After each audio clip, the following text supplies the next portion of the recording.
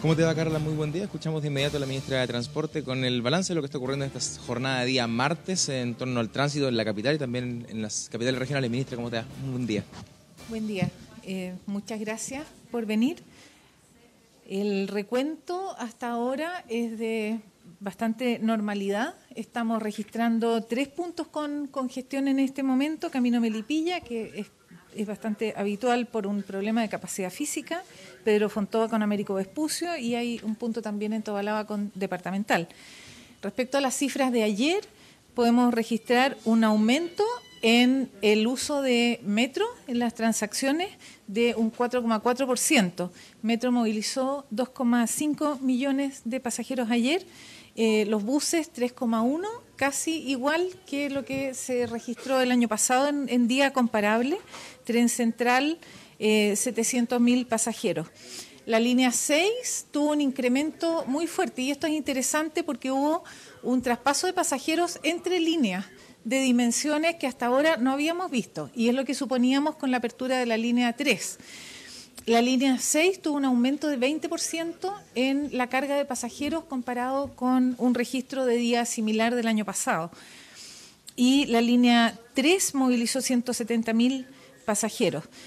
Eh, la línea 2 tuvo una disminución de 10%, es decir, se descargó la línea 2, la línea 4 un 6% menos, que también fue un traspaso de pasajeros a otras líneas, la 4A un 4% menos, la línea 5 un 4,5% menos.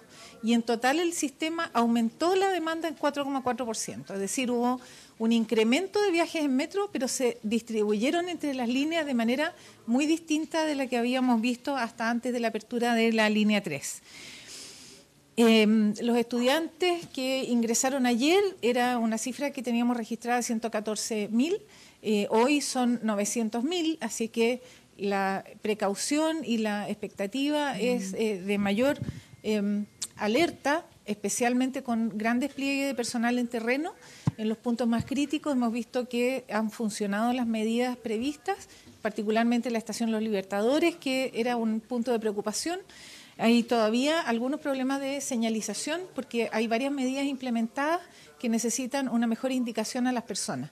Así que estamos trabajando rápidamente en eso. Están funcionando bien todas las estaciones de metro, eh, tren central también. Hay cuatro semáforos eh, que están descompuestos en este momento y, ayer las estaciones más cargadas fueron Tobalaba, Universidad de Chile, Manquehue y Manquehue en la tarde principalmente, y la cisterna. Así que en resumen, eh, creemos que em, esta hora punta, que era una de las más críticas, la del día de hoy, está eh, funcionando bastante, eh, con bastante normalidad, según lo previsto. Creemos que el despliegue en terreno de fiscalizadores y de carabineros ha ayudado mucho a agilizar el tráfico, las personas pareciera que también han organizado sus viajes previendo más tiempo, de manera que ha podido funcionar bien el sistema.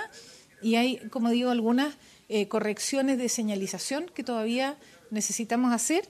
Los eh, servicios de buses han registrado una, una muy alta regularidad eh, ayer, por ejemplo, como promedio del sistema, tuvimos 99,5% de frecuencia, es decir, es la cantidad de buses que salió de los terminales.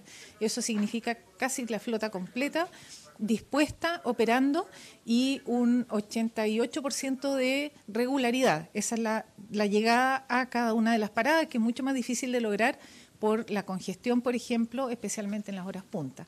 Así que creemos que el sistema está respondiendo adecuadamente y eh, ahora el eh, subsecretario les va a contar eh, el recuento de regiones. Bien, ahí están entonces las palabras de la ministra de Transportes, Gloria Hood, con un buen balance en este día, también un martes tremendamente complejo para las distintas grandes ciudades, pero hasta ahora vamos pasando la prueba, dice la ministra, gracias a que también la gente ha puesto de su parte y ha podido planificar.